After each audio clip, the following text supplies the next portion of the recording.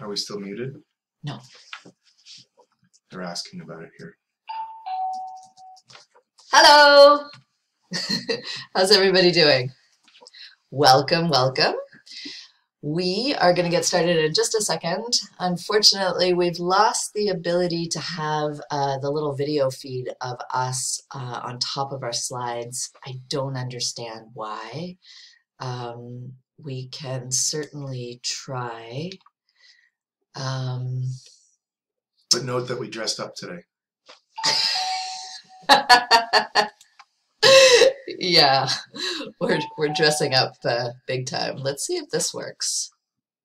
Maybe does that I'll give it a work? Yeah, go and check in our overflow room, um, and then we'll get started in just a couple of minutes. We'll get you to think a little bit about the the uh, Arctic hare story that we told you the last time. We'll review it, and then we'll have a bit of a Menti question for you.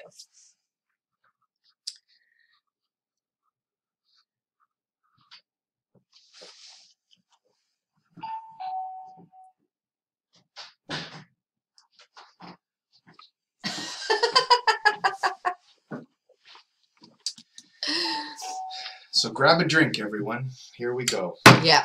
Oh, thank you. You made me a coffee. I sure did. Amazing. Um, here, hold on just one second. Somebody's saying they still can't hear.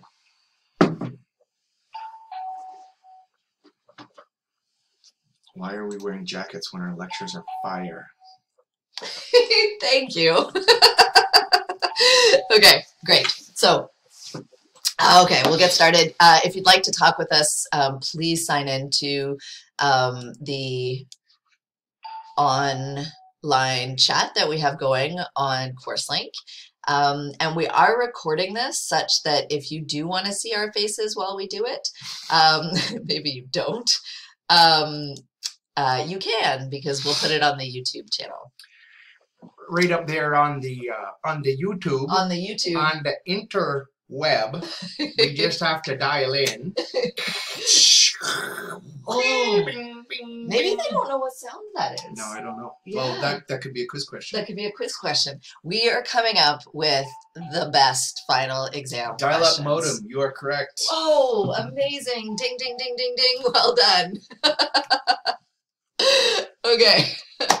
um, And they know it because it's used in memes. oh, it is. It's used in memes. Yeah, that's Have it send them to us. We'll have we'll have that as a final exam question. um, so so seriously, we've we've had some questions about the final exam.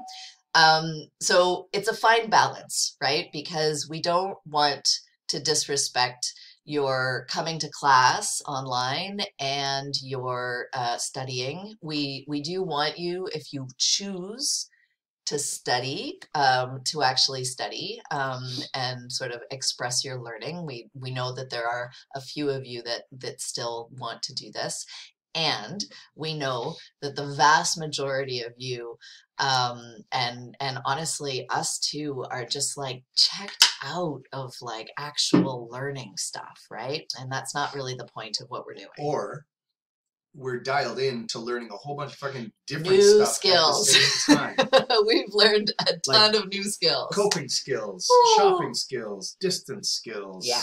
Yeah, yeah. Technical skills. Mm, we're not good at that. Although I don't know if you've noticed, but because of everything that we're going through, the university is suddenly buying a whole bunch of expensive licenses. So Yeah. yay. and we may actually send you to another platform later, but we'll Yeah. we'll let you know about It's that. called something called Warcraft, Minecraft. yeah, I need to learn how to play that stuff. um, okay, so um, so the idea here uh, is is to provide you with um, an hour of, of some biology entertainment, some cool stories, some cool juggle. things, yeah, and to get you through the rest of the course uh, in a way that that works for you. So Um, for the IDP, what we will tell you is, um, in our experience, one of the best ways of doing well on it is to go through 1070 vocabulary. So some of the terms, right, like gene flow or selection or um, carrying capacity, and all of those like those sort of buzzwords.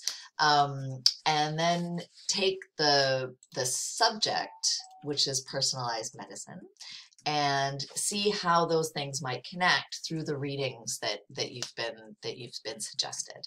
Now you can read anything you want, and I don't think it has to be related specifically to the readings that we give you, um, but hopefully that'll help get you started um, to make connections with things. Um, okay, is that all you want to say about? Uh, yep, there's some questions about the format of the final, so I'm just answering Oh, that, saying it'll be Fun. like your we're we're still writing it. Yeah. Um, but it's uh, it's going to be like the quizzes that you've been doing there. They'll it'll be opened up, and we're gonna what we're pushing for is like a long period. What that once you start it, you've got I don't know, like year no Days. days to write it. days to write it. In case you've got like a two year old walking around going like, you know, kind of pay attention to me, and you're like, I can't do this now. Close it. So, so our goal is to make it super flex, just as I hope is flexible, if not more, than the quizzes that we've been doing.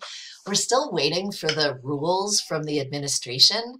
Um, we need to know what the rules are before we can figure out how to get around them. One must know the rules before one breaks them. And if there is a two-year-old walking around your house and it's not yours, send it home. send it home. totally. Ooh, we have a three year old and a five year old, and it has been intense. Intense. Where'd we put them? I don't know. um, so anyway, um, yeah. So as super flexible as possible, you will all do well. Our goal is that you'll get, you know, at least an 80 or above on this thing, um, and uh, yeah, and and walk away from 1070 with some pretty positive feelings. That's Yeah. And so we're the question is are we calling the exam open book? Sure. Okay. oh, totally. Open whatever book you want. Yeah. yeah, yeah. Um, Station 11 by Emily St. John Mandel. oh, read that book. That's a good one. If you're in a good space. Yeah. Um, and Caramel will come in later. yes. And any professor who is designing an exam using Respondus or anything like that, you know, is cruel and unusual punishment as far as we're concerned. Yeah. Um, and so we've been actively lobbying the university, we've been lobbying the Twitter community to get people to just back off with this stuff. Um, and hopefully it might it might work for some of your your professors. Um, Physics 1080 apparently. physics 1080 we will target them and we will try to get them to realize how cruel and unusual this is okay yeah respondus sucks yeah no no it's like it's not it's not happening in our course but hopefully we'll be able to influence others to not do it as well questions here about how to get them to uh, other courses to not do that. yeah Um, I don't know. I'm, we don't. We can't do that. But oh we, can we, be- we, we will tweet at them there will be shaming i did put out a tweet um last night um, talking about exactly that respondus um, i didn't call it respondus i think i called it a digital proctor whatever calling it cruel and unusual. Um, and it's getting a little bit of traction but i'll start tagging some specific people and hopefully the message will get out that way. We'll call it intrudus. intrudus yes Cruelus. okay good. Chem 1040 Yeah, respondus sounds like a spell. let us know. We will we will do our best um to to see if we can get this thing dropped. Um but it's still as far as the university goes with respect to the planning exams are considered a long way away. Yeah. um everybody's like in scramble emergency mode and so you know the the future has become a lot shorter uh, in time from now. Um so just give it some time I know it's weird. Okay, but anyway, let's tell you some stories about Wait, biology. You Oh, just arrived in the future. Respondus sounds like the name of a demon. Or somebody else's idea was a spell. Nice. Oh, spell respondus. Spellus respondus. okay. Leviosa. Wonderful. Okay. We have uh, nothing to say about goldfish. We have nothing to say about goldfish, so let's move on. Yeah.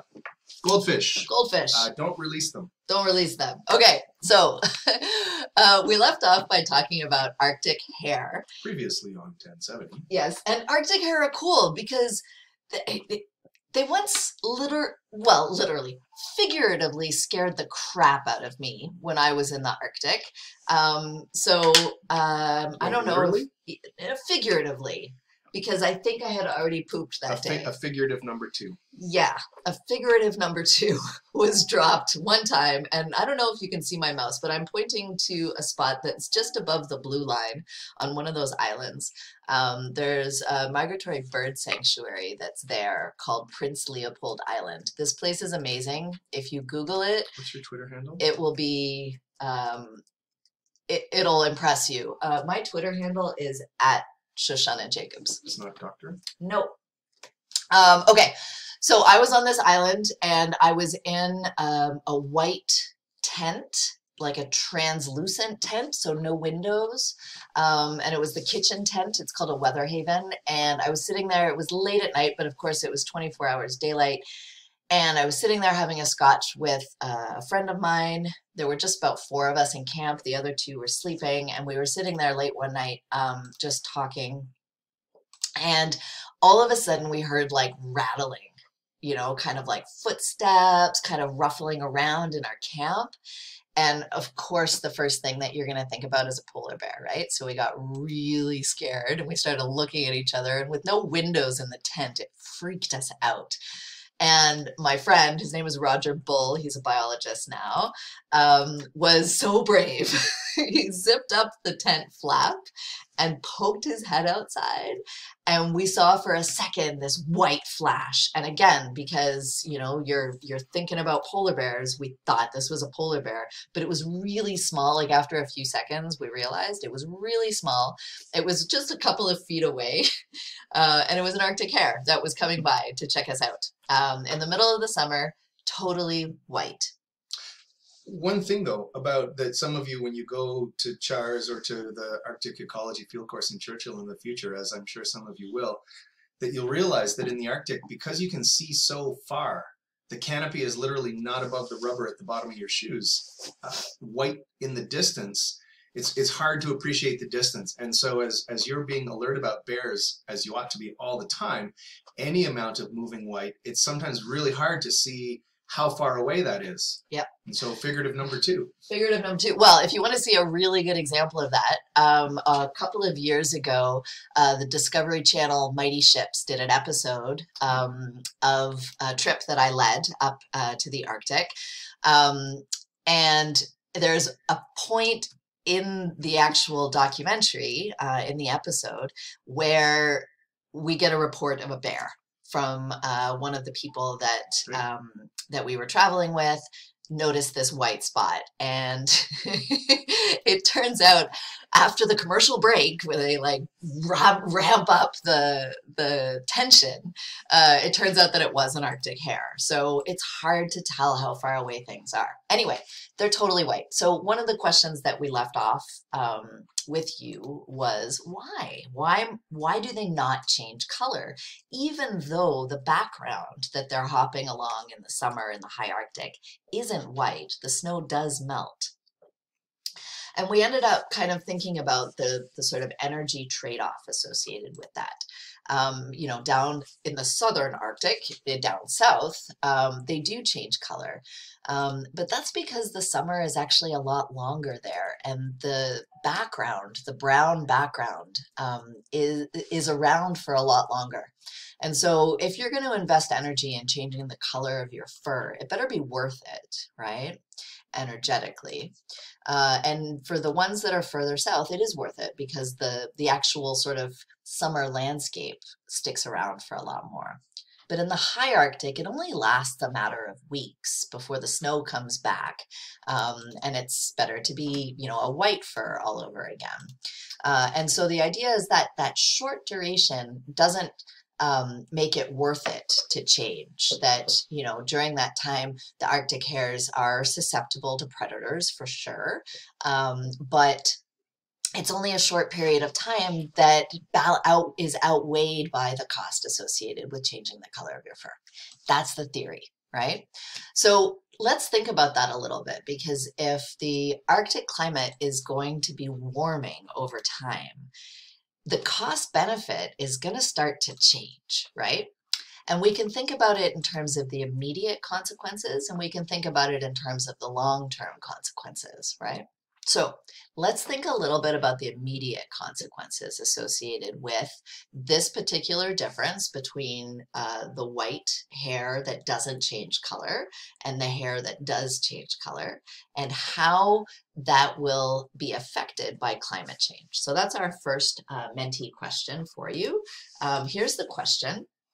And uh, the Menti code is 74 5095. What did just say?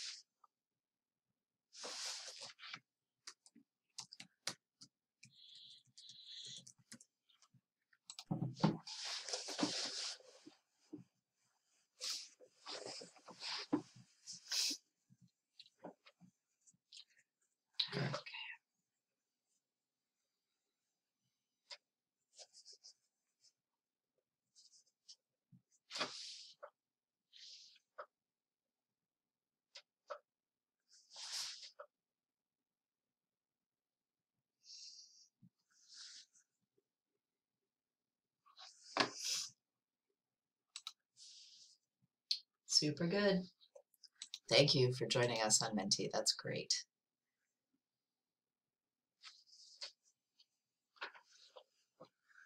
Should we just say that this is going to be a final exam question?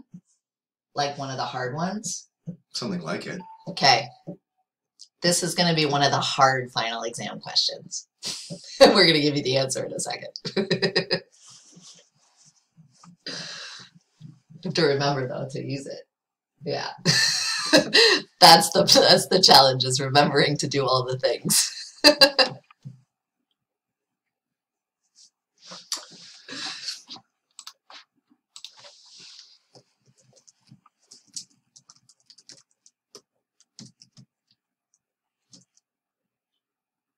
we can go and take a look.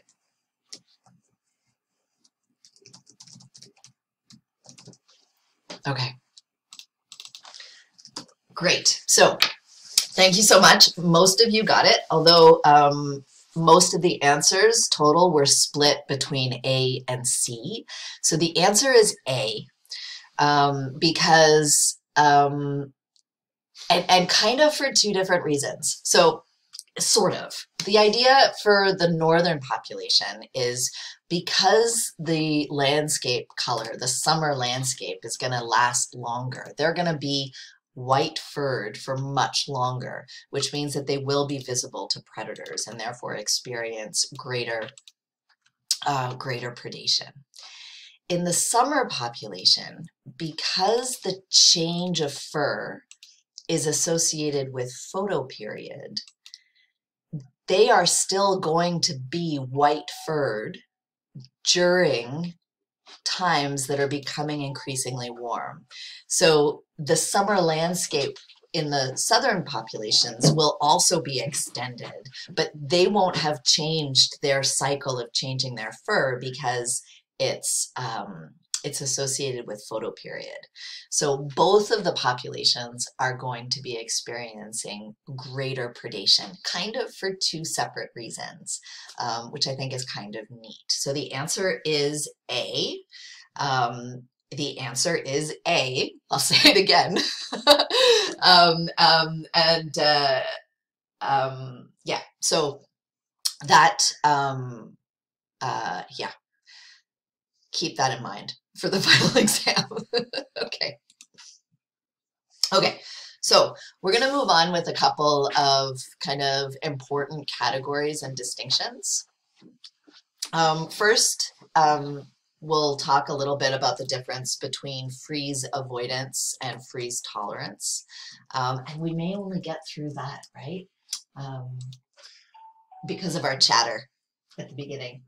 But that's okay. Uh, Yeah?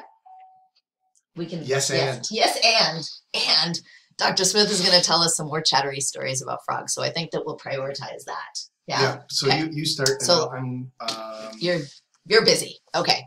yeah, I, I'm I'm really quite busy. You're busy on the chat. Thanks, guys, for chatting. That's amazing. Okay, so um, when we talk about dealing with cold temperatures, um, organisms can be divided up into two ways of responding. Um, either the organism tries to avoid freezing, or it tries to tolerate freezing. And the way that you can avoid and the way that you can tolerate are a little bit they're subtle, they're nuanced, right? Because you can avoid freezing by bringing your body temperature to below freezing temperatures, but not freezing. So you could actually be into freezing temperatures, but not freeze, and that's freeze avoidance. Freeze tolerance means that you freeze solid and you can tolerate it. You can like thaw and and and come back to life essentially. So when we talk about whether something's freeze avoiding or freeze tolerating, the way that you answer that question is is the tissue actually frozen? And if the tissue is frozen, then you know that they're freeze tolerating. But if it's not, it doesn't matter what temperature it is, doesn't matter what condition it is, other than is it frozen? And if it's not, then you're freeze avoiding. Okay? Little thing to kind of wrap your head around. So um, freeze avoidance is kind of our thing, right? Humans like to avoid freezing. We do all sorts of things to do it, and so do a lot of organisms, right? Um, and you can kind of avoid freezing at multiple or at different levels of organization, timescales, all of those things, right? It just depends. A lot of organisms migrate you know they they just get out of there uh, in order to avoid freezing and to avoid a bunch of other things right avoid starving to death because there's no food avoid whatever but migration is a behavioral adaptation to freeze avoidance um, but you can also do it by by allowing your body temperature to get really low but not freeze like the antifreeze proteins that we talked about in the winter flounder um, and you can hibernate, so just kind of hang out and sleep through it. Uh, you can dehydrate uh, certain areas to avoid them from freezing. Um, so lots of different ways of sort of achieving the condition of not freezing. Similarly, although maybe restricted a little bit in the ways, just because we are dealing with biological tissue, and so there are all sorts of rules that you know that must be uh, must be followed when you're when you're freezing uh, is to tolerate it. So to figure out a way to get through a cold period by allowing your tissues to actually freeze. And here's an example. Actually, you know what? I'm going to set this up a little bit because this is an example of freeze avoidance called supercooling. And if we go back here, you can see that it's on the slide um, near the bottom of the list of examples. Supercooling basically plays with sort of the physics associated with pressure um, and temperature um, and purity of the actual liquid. Um, but under certain conditions, you can take water, fresh water, to below freezing temperature without having it freeze as long as you don't have an ice nucleating agent, something that causes like a chain reaction of ice crystals to form. And so here's kind of a fun demonstration of the principle of supercooling. So we have a bottle of water that has been supercooled, and now we're going to encourage it to freeze. So just take a look at that. If you can see it, I hope you can.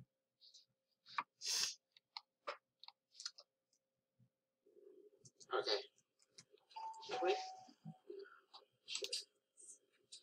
Let me see what this looks like. There goes. It's a good one.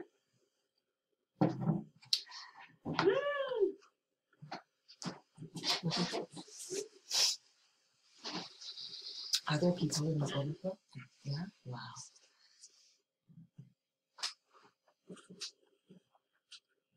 It's working. It's working. Cool.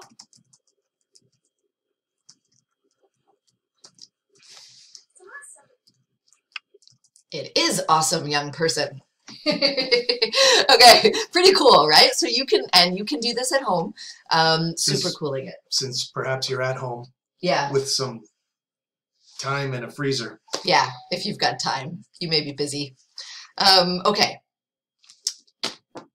Wood frogs, and that's where I'm going to stop talking, and I'll get on the chat. The Yep, here I come. 'Kay. Here I come. I'm finishing Good. My 20 sentence, and the sentence finishes like this. and we'll skip the ground squirrel stuff. Oh yeah. Oh yeah, tell them cool stories about your frogs. Oh yeah. About your frogs, not rugs. These these closed captionings are kind of funny. Yes, my my rug named Franz. My Austrian rug named Franz. So uh, we're going to talk. We talked last time about flounders um, aquatically and uh, some other adaptations that uh, Arctic Hare were using terrestrially in the last lecture. And so one of the examples that we're going to use today is looking at an animal that's real, literally closer to home. This is a frogsicle. Um, I'm going to say it again so I can see what closed captioning does. A frogsicle. Uh, it's closer, too different. It's neither a frog circle nor a frog sickle. this is a frozen frog, a wood frog, that when I was a young person we called Rana sylvatica. Its scientific name is now Lithobates sylvaticus, as you can see on the slide there. And there are, if you're sitting in Ontario, um, largely if you're sitting kind of anywhere in, I'm just nearly anywhere within Canada, there are wood frogs probably within five to 10 kilometers of you. And probably they look like this right now. They are frozen solid. They're maybe, um, they might be in the leaf litter in the forest um, near some permanent or some temporary water. Uh, and they're going to be underground. And their strategy is not to freeze a void, generally, it's to freeze completely solid, as you can see here. Uh, if you're if you live or wherever you are is kind of near um, near these temporary or permanent water sources, if you've heard what sounds like a lot of uh, ducks, a huge chorus of that in the spring, often when there's still snow and ice on the ground, that's a wood frog. So depending on where within North America uh, you, are looking and interested in looking at these wood frogs, um, they may spend up to 65 to 75 percent of the year in this frogsicle state. So not uh, like playing banjos like Kermit does. uh, Why am I frozen for three quarters of the year? Because I'm a wood frog. It's not easy being green. It's clearly That's all or I came alone. up with. So, we miss you. so 75% of the year they might be frozen and up to 65 as the slide says percent of their total body uh, water is frozen critically importantly as extracellular so outside of the cell ice. When they're frozen they have no physiological vital signs so there's no there's no heartbeat there's no it's not just that they're slowed down it's like clank clank. This is a frozen animal when they're thawed, they return to normal life. That takes about um, a couple of hours. And the big question is for 35 years, there's been people uh, across North America. There's a couple of big uh, freezing vertebrate researchers at Carleton uh, in Ottawa, at Western uh, uh, University of, of Western Ontario down the road from us, and the University of Miami, which, as many disappointed people find out, is in Ohio uh, when they arrive and think that they're supposed to be looking for Florida.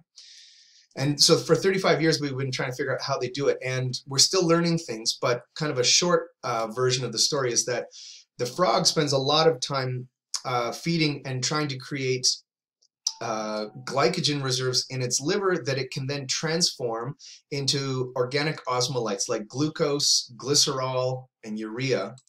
And they use this to protect the intercellular environment and that then can draw water out of cells so that uh, the water, the ice that does form, is formed extracellularly. And the point there being is that sharp or, or sort of frozen water, uh, many of you call ice, it's sharp and pointy. and it breaks through cell walls, which is a problem when you thaw because you're just a little mushy at that point. So here's a look um, of a wood frog in Churchill, and then another life stage of that wood frog on the right-hand side of the slide, which is the egg mass of the wood frog. So there's probably, say, 600 to 1,000 little developing wood frog embryos there. They're just about to break out of little tiny bits of mucilaginous protein, this goo that they're, they're laid in, and to become little swimming tadpoles. And so this strategy is really important if you're going to be uh, an ectotherm, a vertebrate in the north. You're going to freeze solid. You're going to use principally glucose, but also urea as a cryoprotectant, and your organs are going to dehydrate. And we've got a video here to show you this, um, the link that you can, the, the video is about four or five minutes long. I'm going to go through so you can actually see, come with me into the forest. And I'm going to accelerate this to, nope, you don't get to see that yet. And let's go to about there.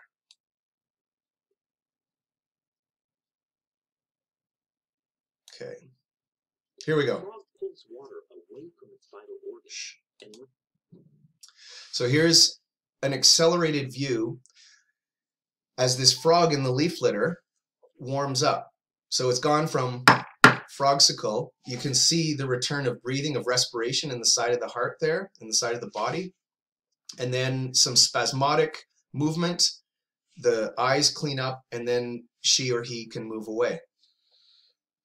So I the one of the digressive stories, or one of the stories that I um, want to introduce into our discussions about frogsicles, is based on an experience that I had doing during my masters when I had I had gorgeous hair. I wasn't shiny at all. And I worked with amphibians and physiological ecology Can I, amphibians. can I just say that I have never seen Alex no, it's been it's been a lot. Like with hair. I think you can tell by the date on the paper here uh, that it was received in June 2000. So this is like so. Learning outcomes. Smith is old. Smith once had hair, and it's been a long time. When Smith had hair, he worked with amphibians, and he worked with the physiological amphibians and physiological ecology of amphibians. And I needed to do that kind of work. I needed a lot of amphibian tissue, and I didn't want to sacrifice to pith and to, to kill a lot of amphibians to get this tissue. So I used my natural history knowledge of amphibians, which is there's a lot of amphibians in this part of the world that undergo spring migrations. When those spring migrations from a from a overwintering site to a to a feeding or a breeding site, and when those migrations intersect with a road, there's often a lot of roadkill. So I went to an area that I, knew a pond was bisected by a road, and I just hung out with my flashlight collecting wood frogs and salamanders and spring peepers and toads and, and green frogs and bullfrogs that were emerging from their overwintering. And all those actually have different differing overwintering strategies. Some are avoiders, some are tolerators. Uh, and I would collect them after they got hit. So so uh, transportation was killing them, and then I was going to then use the tissues for the assays that I wanted to look at for this enzyme called photolyase, which is a different story. So I go out with my hair and I collect the frogs, and I put literally put them in a bucket. I have a bucket of wood frog and a bucket of dead bucket of dead wood frog, bucket of dead salamander, bucket of dead spring peeper, and I take them back to the university where I was working, and I put them back in the freezer because I that takes all night, and then it's going to be a little while before I can process the tissues and do the assays that I want to see. That was the freezer was minus 20, so that's much colder than much of the ground should get here. In this, uh, this is in Ontario that the story is taking place. So, with even a little bit of snow cover, the ground is that the the animal's not going to get frozen to minus 20. Um, so it's very cold. Freezer is very cold. So the frogs were found dead on the road, collected for the tissue, returned to the lab, placed in the freezer. Two weeks later, I pull out my bucket of dead wood frog and I spread it out on the lab bench so I can dissect out the particular muscle or the particular organ or the skin that I want to conduct this assay upon. I'm working there with this increasingly smelly lab for about 20 minutes, and a friend, a colleague, comes in and he says, "What are you doing? This looks pretty macabre." So I describe to him what I'm doing, and he and he points and he says, "Why is that one moving?" So I punch him in the shoulder and I say, "That's a funny joke, Dave." He's like, no, really, why is that one moving? So one of the frogs that was sitting on the lab bench that had been hit by a car after overwintering all winter and then being placed into a minus 20 freezer came back to life on the lab bench. Um, we were a little bit surprised by this. Frogs who've been hit by cars generally don't come back to life. Um, and frogs that are thought frozen and then thawed and then refrozen, that's metabolically, that's an enormous stress. And that's the so, so the story is kind of fun to me because it links into us thinking about physiological responses to climate change in the same way that we talked about how the hair yes Did you write Yes. that up? no you uh, should write that up. Well here it is on youtube No, It's- I know, but it's a really good story. yeah it's a good story oh yeah it's a good story it's a good story. it's a good story oh yeah the valley comes out when you start talking the good stories so the um the what wow So thinking about this in the context of climate change, in the same way that we did with the Arctic hare. So there's adaptations for uh, molting and assuming a cryptic color, a winter color. This is now a disadvantage in places that don't have snow cover, uh, in because you're white and then exposed to predation at a time uh, when historically the ground would have been white, and now you're just a white coat on a black or a or a tundra lichen colored background. In the same way, these frogs are dis- are um, adapted through evolutionary time to being frozen, staying frozen, thawing, and continuing their breeding cycle. What's happening now, because there's less and less snow on the ground for increasingly unpredictable periods of times, is that these animals spend their entire active post-breeding season, but active season, feeding and feeding, getting a big, giant, full liver of glycogen that they can then convert into glucose and urea and these cryoprotectants and they freeze, but then the temperatures are rising up because there's no snow to insulate, and then they drop down again, and then they rise up, and then they drop down again. We have the most important question of that story coming Yes. through the, the feed. And the question is, what did you do with that frog? we um, so that's a great question. It's a great question. So we're talking about metabolic adaptations for refreezing. And so the two answers at the end, I figured in the particulars of this frog, this is a male frog. Um, and I figured that potentially he was pre-adapted for climate change and pre-adapted for traffic because he seemed to have survived being struck by an automobile or a truck and also being frozen, thawed, and refrozen at quite a, a, a drastically low temperature. So I made sure that he recovered. He spent the day in the lab. I massaged his little tiny amphibian shoulders, and then I took him out to a pond where I knew there were a lot of breeding females. So perhaps somewhere in the Peterborough area, there will be soon a giant super race of wood frogs that Some is, uh, tough motherfuckers. yes. Yay. So, so that's the frog story. Yay. Um, now, thinking about the story, one of the stories we told talked about last time, where the body fluids freeze uh, at a slightly warmer temperature than what the the seawater is freezing at in the flounder, and the woods frogs experiencing temperatures that are below freezing and sometimes drastically below freezing, minus twenty.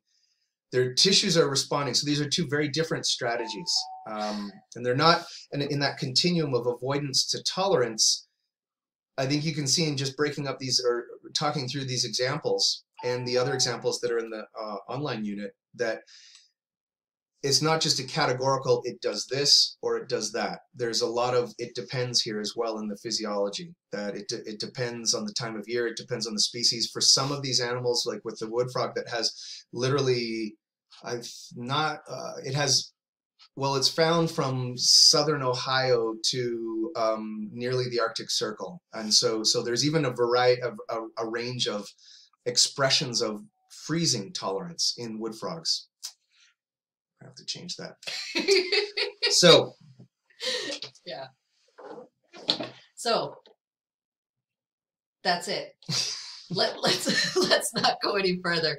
We had we had well we had a story about um how far ahead is that story? it, well it's it's like coming up. I, you know we could do another few minutes about. Why, why don't we at least talk about it? Because I think it's good. be- So in vertebrate examples, we've talked about Okay. this is another big one, right? Okay. Trade. Trade. Oh, Skip. Do you want to do that? No, I don't want to do that. I don't want to do this. I want to do this because it's kind of a Jacob's thing to do. So if we've got freeze tolerant um, ectotherms, right? So the frogs are um, ectotherms. Do we have any freeze tolerant endotherms? And by looking at this question, it basically allows us to learn more about physiology and what the limitations and the constraints are based on the different sort of life strategies, right? Whether you make your own heat or you get your heat from from the environment, that kind of deal. Um, and what's cool is that some science associated with this question has changed a little bit in that there are some sort of freakish exceptions to a general rule. So the general rule is no, there are no freeze tolerant endotherms. Um, being an endotherm has all sorts of physiological challenges associated with it. And you do need generally to maintain your tissues above zero. Now, as we do, you know, more and more research into sort of particular, you know, exceptions, we realize that there are some endotherms that get pretty darn close to zero degrees Celsius, at least for um, a little bit of time. But the vast majority, like all of them, except for maybe this one or two that we will discover in the future, um, cannot tolerate freezing, and therefore all of their behavior is freeze avoidance. Um, so the other question then we can say is, okay, fine. So none of them are freezing, but are there some that kind of manage their temperature depending upon what's going on outside? And the answer is absolutely yes. So when we talk about things like hibernation, um, we can talk about something called torpor, um, which we'll go into now just to kind of show you a little bit about the difference between those things. So um, we can take a look uh, at hibernation versus torpor uh, in endotherms. And basically, torpor is hibernation, but over a really short period of time. And the physiology associated with that difference in time scale uh, is somewhat different, right? Because if you're hibernating for a long period of time, your body is becoming depleted in oxygen and a bunch of other things that wouldn't happen over a short period of time. So all of the physiology associated with distinguishing those two has more to do with time um, than anything else, because otherwise it's pretty much the same. Um, and so here's the difference, some some kind of major differences, right? All with respect to time. Um, and the big difference physiologically is that torpor is so such a short period of time, usually overnight, that you're not going to deplete your body of oxygen. So you can just kind of come out of it and ramp up your metabolism uh, in a way that something that hibernates wouldn't be able to. The first thing that something does when it's coming out of hibernation is it pants. Like that, right? To try to get more oxygen into its body so that it can ramp up its metabolism to be able to start generating heat. Um, that's kind of the big, big difference because of the two different time scales. There's a joke. A joke? Freeze tolerant endotherm. Yeah, my significant other's shoulder when I make them mad. Ooh, nice.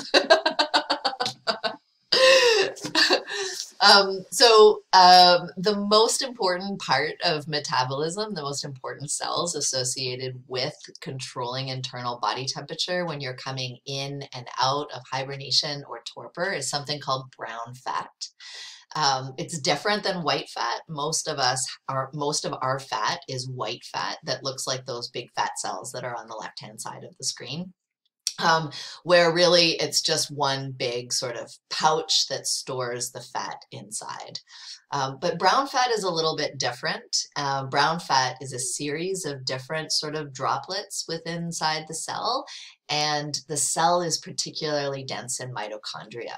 Um, and we all know from our Ontario curriculum that mitochondria are the powerhouse of the cell. Um, the cell. yeah. So if you remember one thing, for some reason, that's what sticks. Um, but the reason why we call it brown fat is because of the high density of uh, mitochondria, it makes those cells look very dark or it makes them look brown. Um, but the idea is that there's lots of mitochondria that are in contact with a lot of small, high surface area fat droplets, which means that the energy um, can go straight into the mitochondria and, and start to be burned and used as long as there's some oxygen around to help facilitate that process. So, ground squirrels, amazing creatures. There's a whole bunch of different types of ground squirrels. Um, and here's an example of uh, the Richardson's ground squirrel, absolutely adorable. Not a groundhog, very important to know that difference. Actually, that'll be exam question number two. Um, which of these is a groundhog? Which of these is a ground squirrel? okay, so ground squirrels hibernate, um, and you can see on the Diorama on the diorama from a museum on the top left hand side uh, that there's one kind of buried down in the ground and that they make these little sort of um, these little rooms um, in a series of tunnels and they stay there over the winter. Um, and they start out fat and they get skinnier as they're hibernating is pretty much the whole point of this figure moving on. The cool thing though is if you take a look at this graph look at the one uh, for the adult male um, that's the second one the middle one on the left hand side basically it, it's looking at the temperature profile of uh, the ground squirrel um, as it goes through hibernation and what you can see is that generally just by looking at the bottom part of the data generally the temperature of their body goes down and it goes down super super close to zero degrees celsius by the time it's december january right It's kind of an amazing graph. it's amazing Like yeah. But also, I hope you notice that it's pretty spiky too, which means that every couple of weeks, their body temperature rises back to normal, back to 35 degrees Celsius, and then falls down really, really quickly. And then two weeks later, that happens. And then two weeks later, it happens again. And it's not because they're coming out of hibernation and running around and eating or something like that. It's a very short period that their body temperature spikes and then falls. Um, we'll skip this one.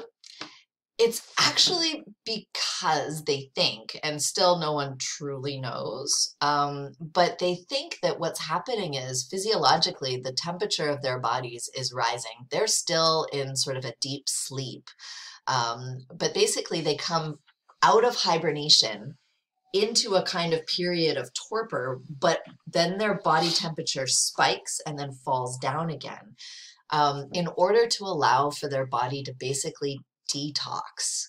That hibernation and slow metabolism um, does accumulate a whole bunch of toxins and waste within the cells, and that they raise their body temperature for a short period of time to allow for a natural kind of detox, cleansing, um, and um, basically uh, increasing immune function uh, to then be able to uh, to go back into hibernation. So it's kind of a neat little story about how that and works. it's not because as they sleep underground under their nice quilt that their partner steals the quilt and then they have to get their temperature Uh-huh. up until they get the quilt Aha, back. What are you trying to say? not a thing but we should wrap up we should wrap up. Okay, so we're done for today. Um, and uh, we'll go and do this again in a few more minutes for the second section. Thank you so much for joining us. Yep. And uh, we will hopefully have an even smoother section uh, the next time around. So take a look for the updates as the university starts to buy different software for Yeah. us. we'll see where we We'll, are uh, next week Yeah, we'll keep you posted. Um, email us with questions. Uh, tell us how you're doing and what we can do for you. Okay. Bye.